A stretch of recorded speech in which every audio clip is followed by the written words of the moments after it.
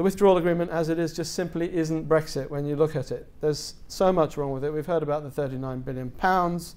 We've heard about the Irish backstop. Northern Ireland is effectively one of the hostages, but there are lots of other ones there. Our future trade is one, our, our fisheries. One of the things that I really don't like about it is the idea that the transition period can be extended.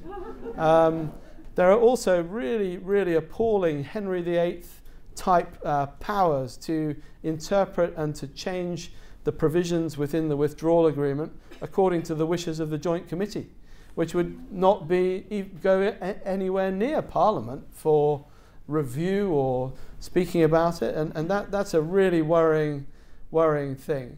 I find it very disturbing to see that if you read it closely, the intention is to build on a thing called a single customs territory.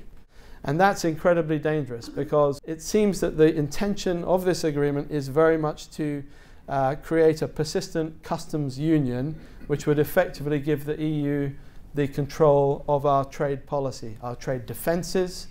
Um, and that is, to my mind, an unconscionable uh, outcome of a referendum where we are supposed to be taking back control it would allow the EU to effectively sell access to our markets uh, to the nations that it was wanting to do free trade agreements with.